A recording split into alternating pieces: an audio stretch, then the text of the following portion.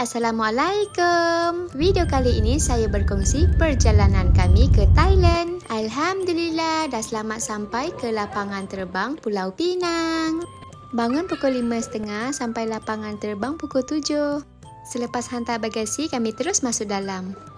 Yang pertama tadi, staf Air Asia yang periksa. Yang kedua ni, polis pula yang periksa. Kalau nak tahu, puan polis tadi tegur saya. Tanya saya, eh, tahu ke kan? Di sini, immigration pula yang periksa. Jika orang yang suka menunding jari tidak akan terlepas di sini. Berita gembira anak saya dapat seledup masuk barang ketagihan dia.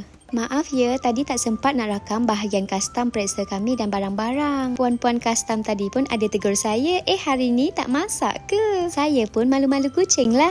Inilah OOTD saya hari ni. Dalam dua jam lagi baru kapan terbang sampai. Apa lagi? Makan-makan dulu. Sebelum makan jangan lupa gaul-gaul. Rasa sup ni biasa-biasa je. Harga je mahal. Sumpah je lah. Alhamdulillah kapan terbang dah sampai. Biarkan golongan VIP masuk dulu. Di sini mereka akan periksa pasport dan tiket kita. Untuk memastikan kita naik kapan terbang yang betul.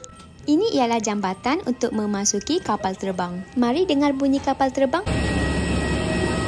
Ini ialah baju keselamatan untuk kanak-kanak. Ia untuk digunakan apabila dalam keadaan kecemasan sahaja. Sebelum kapal bergerak, pramugara atau pramugari akan tunjuk cara pakai tali keledar dan juga beg oksigen. Alamat no foto. Menghayati pemandangan sambil tunggu makanan. Nasi lemak atas awan. Tak sabar ya nak makan. Ini ialah kali pertama anak saya nak kapal terbang. Alhamdulillah semua berjalan dengan lancar. Kecuali tadi dapat penumpang makcik bawang banyak songeh. Masa dia nampak kami datang, dia dah minta pramugari untuk tukar tempat duduk. Saya pun Alhamdulillah sebab dapat kerusi lebih nanti. Tetapi nak dijadikan cerita, semasa kami masuk nak duduk dalam, anak saya terpijak kerusi dia. Kemudian saya sudah lap guna tangan. Yang buat saya marah, dia telah spray hand sanitizer hampir terkena muka anak saya. Bila saya tegur, dia tidak puas hati malah nak ambil gambar kami pula. Alhamdulillah dah sampai Bangkok, minum air dulu. Sekarang nak pergi bahagian kapal terbang yang akan terbangkan kami ke Chiang Mai.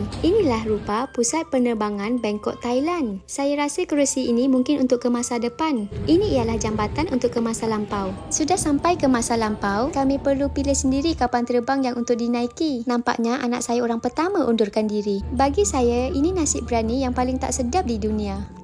Rakaman ini khas untuk orang yang tak pernah naik kapal terbang dan juga untuk orang yang tidur sahaja apabila naik kapal terbang. Alhamdulillah dah mendarat di Chiang Mai. Cari bagasi tapi bagasi kami di bahagian antarabangsa. Beli SIM card 5G, wow. Kami telah menaiki Grab ke homestay kami. Alhamdulillah dah sampai nama homestay ni We Home. Persekitaran rumah ini sangat nyaman rasa seperti di rumah sendiri. Ambil kunci sendiri, masuk rumah sendiri, buat macam rumah sendiri. Mari ikut kami periksa rumah ini. Alhamdulillah, rumah kelihatan bersih dan sangat tersusun. Mari ikut saya lihat dapur dulu.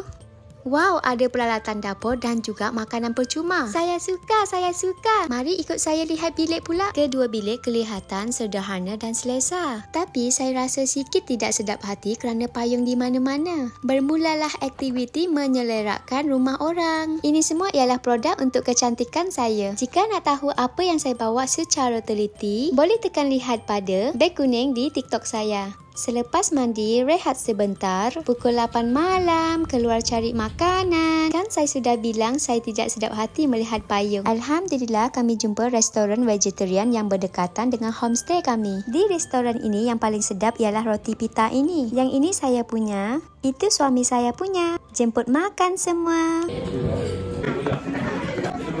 Pada kali pertama saya gigit, saya perlu tambah garam dan juga lada suluh supaya rasanya menjadi lebih enak. Malangnya hanya rasa kecewa yang saya dapat. Oleh itu kami teruskan perjalanan mencari makanan untuk lewat malam serta untuk sarapan pagi. Alhamdulillah jumpa kebab yang halal. Balik homestay, mandi, makan, Google tempat menarik untuk esok dan tidur. Sekian, semoga berjumpa lagi pada episod seterusnya. Insya Allah.